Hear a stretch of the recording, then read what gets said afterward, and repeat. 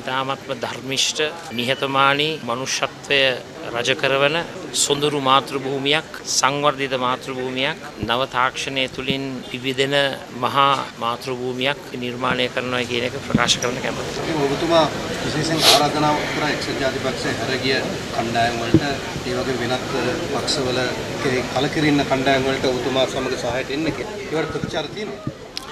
බොහොම ඉහළින් තිබෙනවා.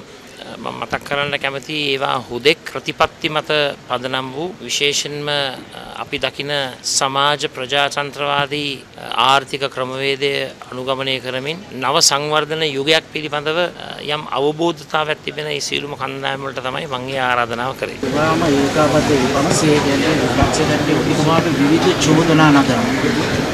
ඒ පිළිබඳව ඔබතුමාගේ අදහස කුමක්ද? විපක්ෂයේ නගන විවේචනවලට චෝදනාවලට මට කියන්න තියෙන එක දෙයයි සියලු සත්වයෝ නිදුක් වෙත්වා නිරෝගී වෙත්වා සුවපත් වෙත්වා දේ ලෙස විවේචනය කරන ඒ කාර්යයත් හොඳ දෙයක්. ඒ හොඳ දෙයින් අපිට තේරෙනවා මාධ්‍ය නිදහස රටේ තිබෙන බව.